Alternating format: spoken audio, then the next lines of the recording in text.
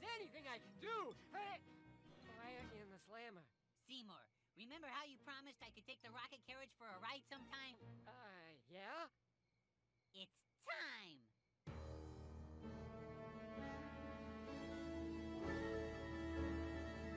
I'm not so sure about this.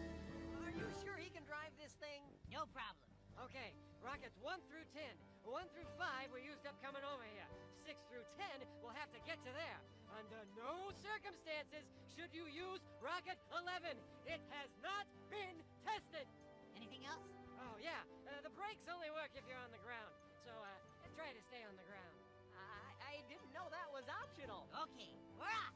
Uh, where you going again?